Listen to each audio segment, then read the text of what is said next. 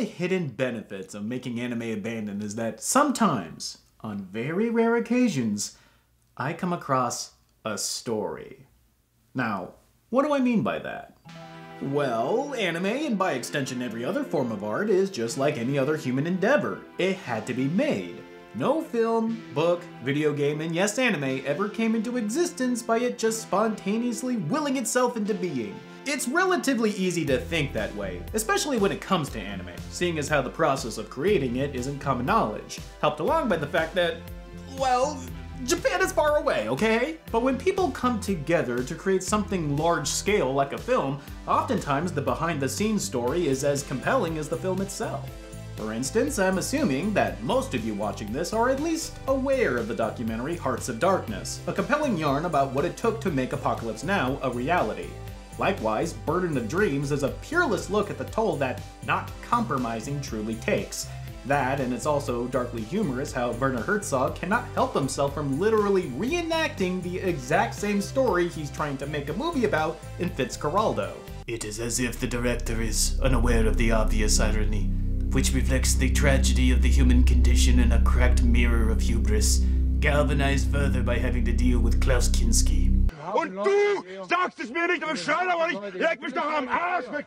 Der Moment ist überhaupt gekommen, wo ich dir in die Fresse haue. Today's story is nowhere near as harrowing as those two films, but it is the most hilarious story of ineptitude I have ever heard in film, anime or otherwise, and I am here to share it all with you in Gundress.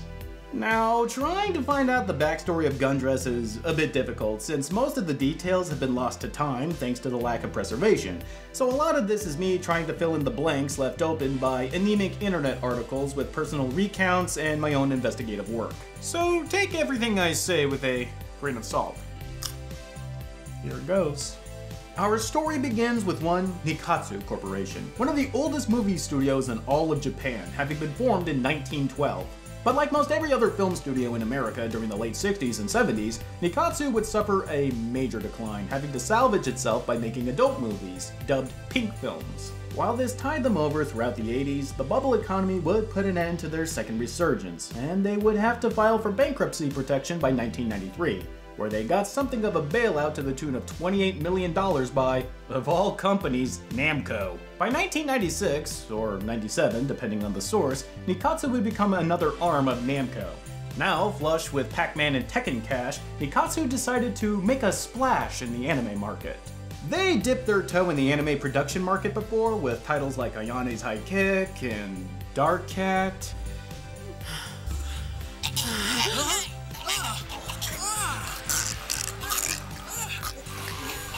To say that Nikkatsu's choice in which anime projects to produce was rough would be an understatement, but Nikkatsu would not be deterred by their past failures, not when they have the safety net of Namco. And here is where we meet our main character, Orca. Now, if that name sounds familiar, it's because we did previously cover an anime that they had a hand in, Landlock. Two blue eyes and a red eye to complete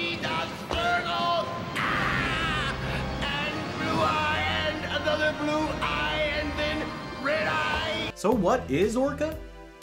Well, that's a tough question to answer. As I've come to understand it, Orca is a creative team made up of a loose assortment of people, the members of which I can't really nail down because no website of theirs exists anymore. And ANN, despite being a great source of information, has little to nothing about their history.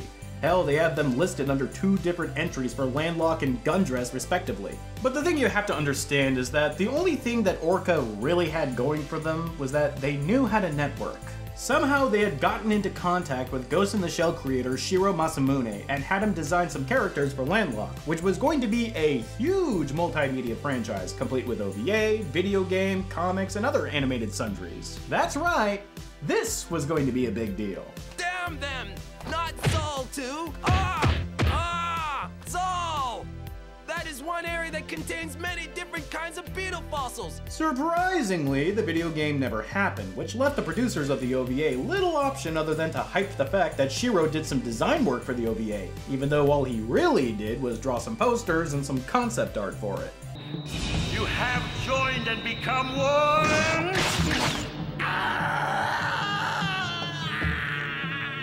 But sometimes losing teaches you more than winning. And Orca was learning big time.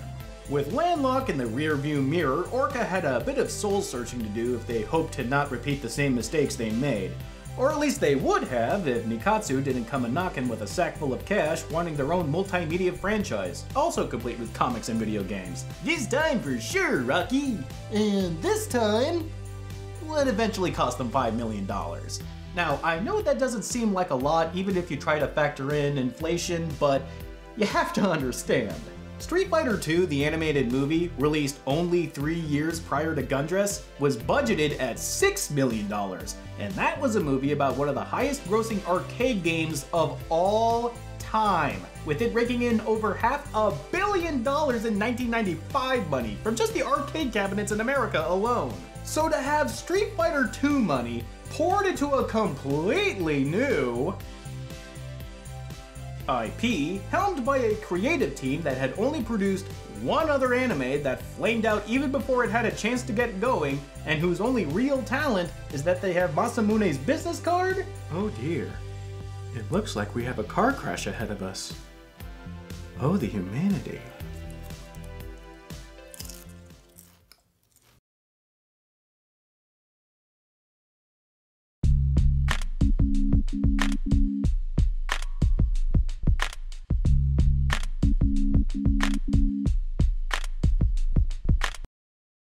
Obviously, this decision to invest into a project like this could have only come from a company suffering from a toxic mixture of being relatively new to the anime business and having newfound financial security after years of proverbial drought. But it isn't fair to say that Nikkatsu were completely naive in believing that Orca would eventually come through.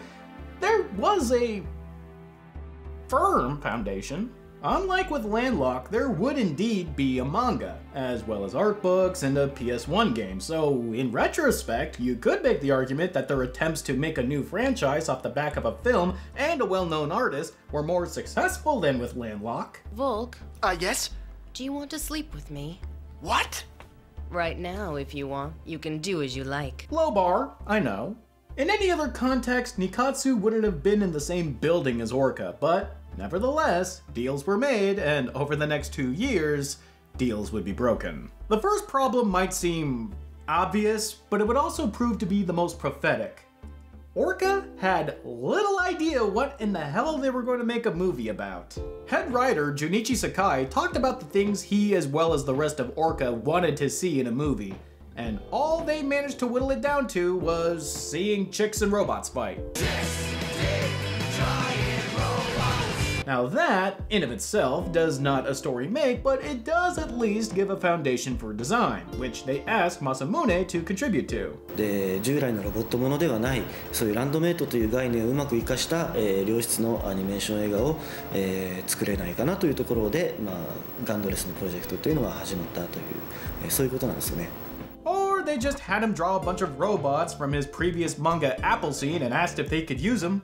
Yes, their big stab into making a brand new, exciting property is to wholesale lift the robots from Appleseed, called Landmates. And Masamune just greenlights this idea, as if this doesn't defeat the purpose of this entire film at all. 光学機動隊にも出てきた熱光学迷彩を採用した初めてのタイプです You know, the more I investigate this relationship between Orca and Shiro Masamune, the more I realize that it's built entirely upon convenient apathy. Considering the time of production, which would have been the mid to late 90s, Masamune was well on his way to not giving a shit about anything other than making his umpteenth porn book. Make a manga that would go on to be a worldwide success, complete with genre defining feature film, and let's see you try to care about some group of guys you might have met at a convention once upon a time ago between counting your fat stacks of yen. I mean, if he's not on the payroll and all he's doing is recycling his own robot designs, how much emotional investment can he really have in this project? I'll tell you how much. Not enough to appear in the behind the scenes making of documentary. and the aptly named Sir not appearing in this film. We do get some emails from the man, which does at least shed some light on his actual contributions and role in this film, but considering how much Gundress sells itself as being from Masamune Shiro, him not even being here is kind of insulting. It'd be like if Tim Burton didn't even bother to do press junkets for Tim Burton's Nightmare Before Christmas. While Masamune did have a stronger presence in this film than he did in Landlock, that isn't to say he had much of one at all. From the loose amount of details he was given, Masamune gave Orca a team of women to be the main characters, but in his head, he believed that the story would be about the, well, leader of these women. But because Orca didn't really have a story to begin with, by the time the script had been produced, it turned out that the main character would be the woman with the dark past, Alyssa. Perhaps that's what Goman sees in you. Why he thinks you deserve a second chance. Well, okay, plans can change, but I'm sure his other characters were presented as intended. Quote. Michelle is the most convoluted character and is more dangerous than Alyssa. She wants to be seen as a classy grown woman, and understandably so, ellipses. She has a greater chest and intellect than would be expected of her age. I'm sure that detail was very important to the man. The man here being the same guy behind Galgrease. Seriously, why does Shiro Masamune insist on painting his women like they just took a palm oil bath? The intricacies of her character are complicated. If necessary, she would not hesitate to use biological or chemical weapons, and has a sharp personality. She is definitely a highly explosive woman. I basically made her the cute younger sister with a volatile look in her eyes. Will this come across in the anime? Hmm, nope. I know we're in trouble, but I don't think it's fair to say that everything that's happened is Alyssa's fault. Have you gone completely off your rocker? If I didn't know any better, I'd say you were starting to sound like a real member of Angel Arms. I guess I've been listening to Kay. What? Not me? But hey, Gundress wouldn't be the first anime to start off with concept art without an actual story in mind. Hell, half of the episodes of Keep Your Hands Off Eizouken were about the characters trying to find a story for their animation. And as long as Nikkatsu was cutting the checks, everything would be peachy keen, and that includes splurging on real actors, like Rie Ishizuka, who would play Alyssa. For the record, Rie, at the time, was known more for screen acting than voice acting, and boy does she look uncomfortable and awkward with director Katsuyoshi Yatabe. あと他の登場人物たちともちゃんと、はい、だから仲良くとりあえず仲良くしないといていただいてですね。あの、あのアフレコ終わった後あの、ええ。この人たちと仲良くなってもらうと、えおあのお話ともちょこっとそう合うんでね。どういうスタンスの取り方をするかっていうのを、探りながらやってってもらった方が、ええ。そうですね じゃああのまだ先ですけど頑張りはいましょう、頑張りお願ますいしますよろしくお願いします Fun little fact after Gundress, Rie would be cast in more anime roles, including Eizouken, as well as Mezzo Forte and Angel Blade. I shit you not. So, yeah, on top of the story that they are literally making up on the fly, tied together only by the art of Masamune and some notes that they heartily ignore, they were bolstered by some top tier talent that look like they would rather be anywhere else. But as long as we get some killer action in animation, I'm sure a lot of this can be smoothed over, because as lead writer, whatever the fuck that means for this project, Junichi Sakai says, 日本のアニメーション はもう世界的にもレベルが高くてそういう非常に評価が高いものにはなってると思うんですけれども Oh, Junichi. You just had to say that, didn't you? 日本のアニメーションはもう世界的にもレベルが高くてそういう非常に評価が高いものにはなってると思うんですけれども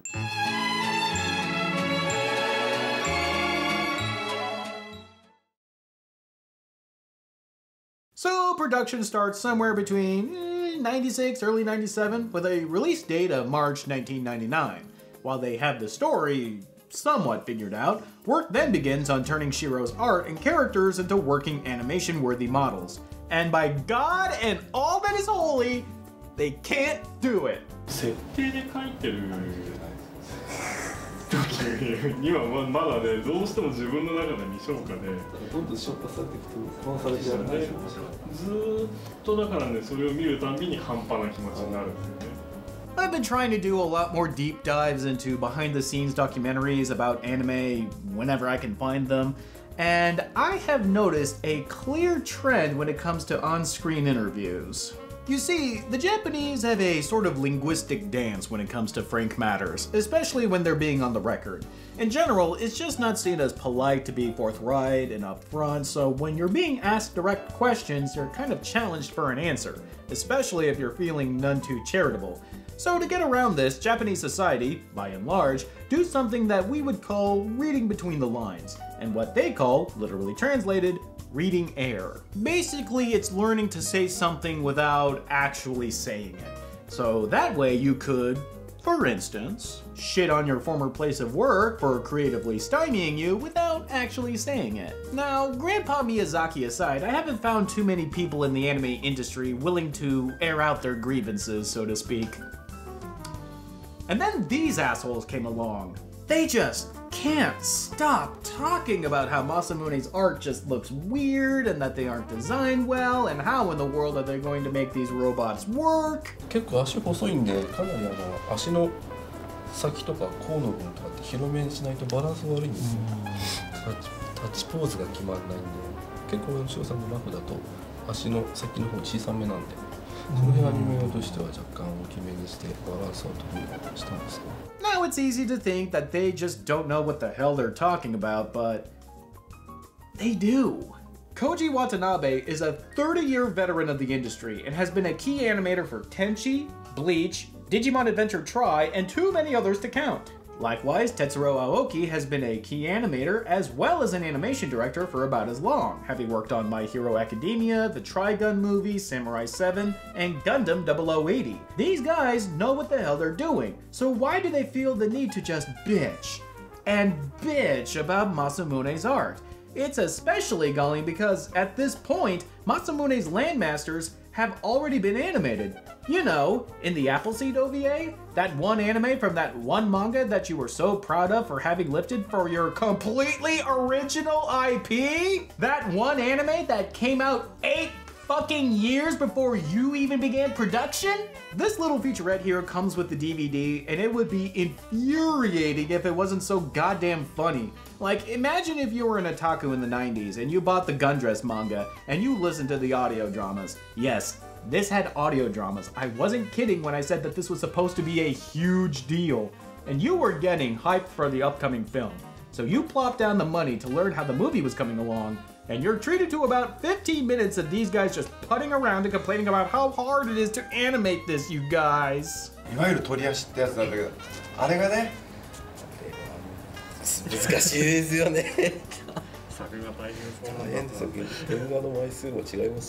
At this point, would it surprise anyone to find out that Orca missed deadlines?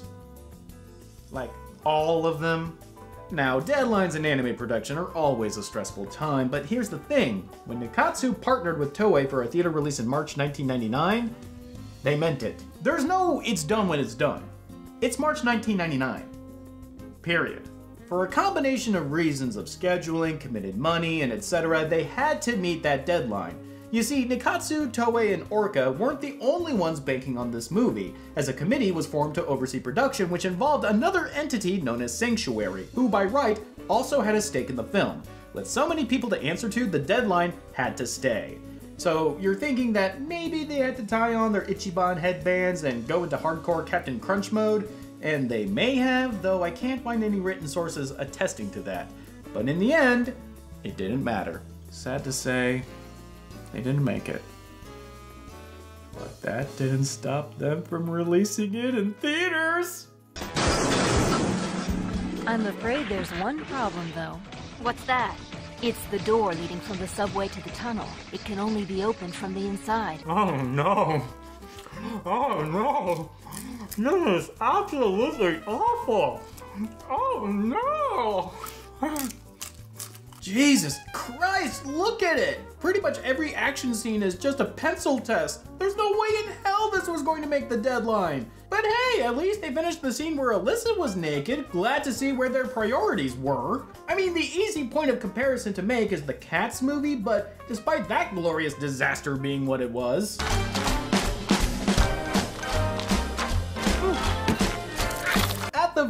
very, very least, you could say that an attempt was made to make them look like cats. The movie wasn't released with Judi Dench and Jason Derulo still in their mocap suits. Oh, wait, they couldn't have because they didn't use mocap suits. But still, the point remains that there was an attempt. This, on the other hand, is the equivalent of you handing in your midterm that you wrote in pencil on the way to class. I mean, releasing this broken, visually inept clusterfuck of a product, who the hell did they think they were? Bethesda?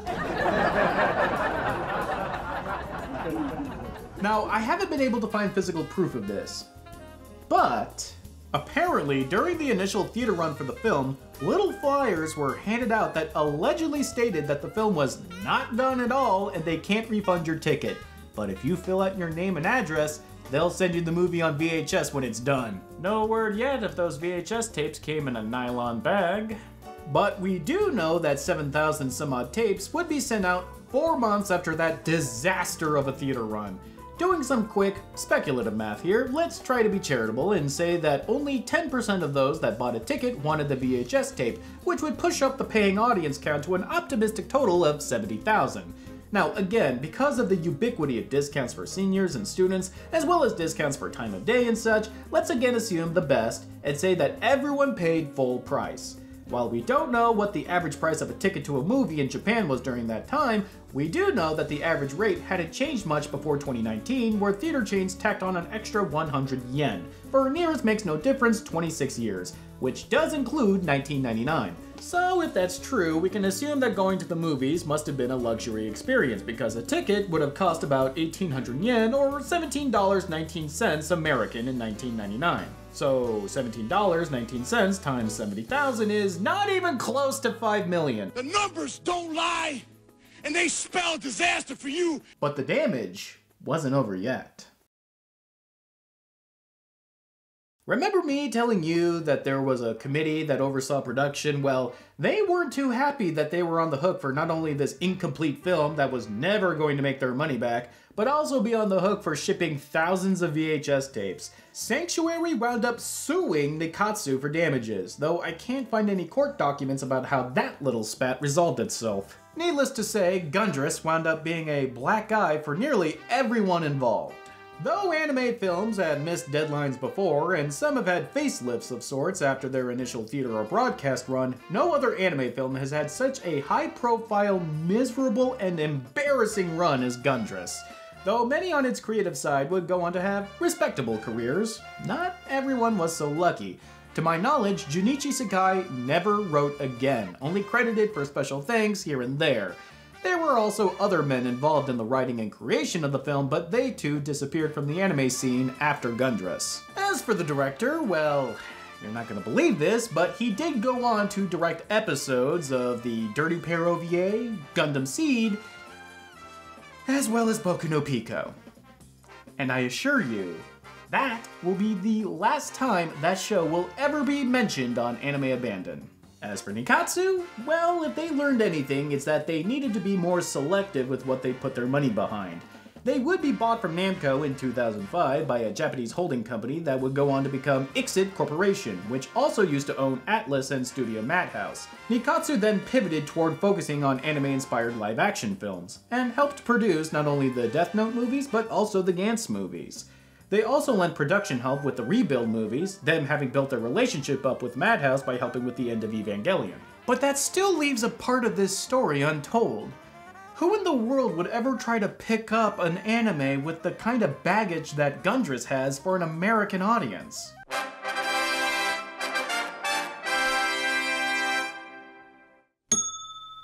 a jackass! Sorry, kicked up a bit of dust using that reference. The uppers, Media Blasters would announce in 2002 that they would release Gundress under their Anime Works label, and even had the sheer balls to say that there would be a limited theatrical run. An American theater run for Gundress. I never meant to get you involved. I thought I'd made it clear I didn't want to see you again. Even though you're my brother, I could never condone how you make your living, dealing illegal arms. In 2002, How could you know when they're gonna get here? When you walk with God Allah, you learn to listen when He speaks. Yeah, not happening. Much to our collective dismay, Media Blasters never included the infamous unfinished cut of the film on their DVD release, like the original Japanese DVD did. And despite trying to hype the release of it, it was pretty clear from day one that they didn't actually invest much time into localizing it, other than follow what Orca did and pip the hell out of it with Masamune's name. The transfer was made from a film reel, which wasn't properly formatted to fit a 4x3 aspect ratio, and also includes many a cigarette burn for projectionists. All of this despite the movie being only three years old by this point in time, so a master tape should have been readily available. Further, the dub suffers from shoddy translation work, the most egregious being the mispronunciation of the main antagonist's name. What have you got? It's a data file on the terrorist group. Jan Rook was the leader. Guys, you do know it's supposed to be Jean Luc, right? As in Captain Picard? Hell, the anime spells his freaking name for you! It boggles the mind how one film has had so much incompetence swirling around it, only for it to be mostly forgotten in the annals of anime history. Shat out by Anime Works less than five months after its 2002 announcement, then having a brief blip of resurgence on the Starz Action channel in 2006, never really to be heard from again afterward. As for the anime itself, well, all I really have to say is, did you guys see Bubblegum Crisis? You did? Good, then you've seen Gundress. It's ostensibly the exact same plot of a woman gathering a bunch of other disparate women to fight using mech suits to save a fictional futuristic city. Hell, their names are just different enough to avoid a lawsuit, right, Sylvia? The only real difference is that they're not fighting a bunch of androids, just a bunch of cybernetically enhanced terrorists led by Jean Luc. For reasons that go completely unexplained, Alyssa and Jean Luc used to be an item together before they were separated, and Alyssa was recruited into Sylvia's anti terrorist outfit, Angel Arms. Yes, a former terrorist is recruited into an anti terrorist group and then given a bitching mech suit to pilot. Was it that obvious that this script was written on the fly? Truth be told, the movie is actually pretty boring and trite. The only real memorable parts of the film is the ending, where it basically turns into Lawnmower Man, and Alyssa has to chase John Luke into the virtual world where he literally noms on government secrets. I never cared if Hassan lived or died. These secrets are worth a fortune. Any country would be willing to pay me whatever I ask for them. Is it any wonder that I decided to talk about the making of Gundress rather than Gundress itself? Likewise, is it any wonder that Gundress would go on to be mostly forgotten here in the States, which is a real shame, not because it's any good, mind you, but because it should serve as a reminder of what it truly takes to make an anime, and make it on time. As for now, though, we are approaching the last leg of our Anime Works journey, and what we have in store for us seems to be yet another dime a dozen action OVA.